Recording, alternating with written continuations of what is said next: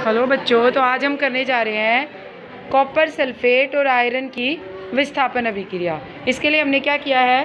दो परखनली ली हैं, जिनमें टेन टेन एम क्या लिया है? कॉपर सल्फेट का विलियन। और क्या लिया है?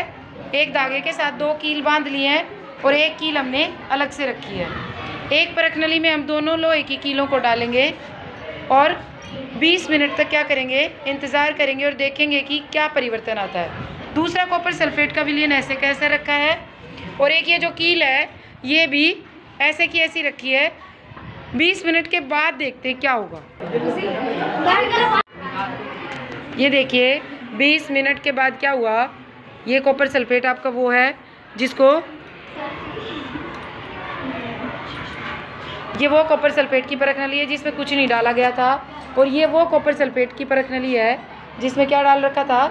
आयरन यानी लोहे की कील डाल रखी थी। दोनों के रंग में देखिए कितना फ़र्क आ गया है।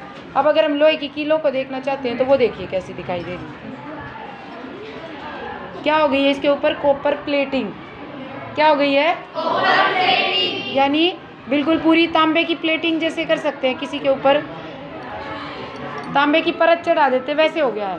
इवन अगर हम इसको हिलाते हैं तो ये देखिए परखनली के अंदर क्या आ गया? सॉलिड फॉर्म में कॉपर। ठोस अवस्था में क्या है अब? कॉपर है और एक्वस फॉर्म में क्या है? आयरन। लोहे की कीलों पर भी क्या चढ़ गया है? कॉपर। अब जो नॉर्मल हमारी कील थी, जिसको हमने किसी चीज़ में नहीं डुबोया, उसका कलर देखो।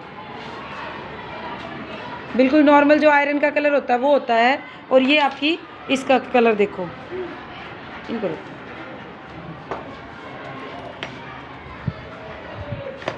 ये दिखाओ। पकड़ो।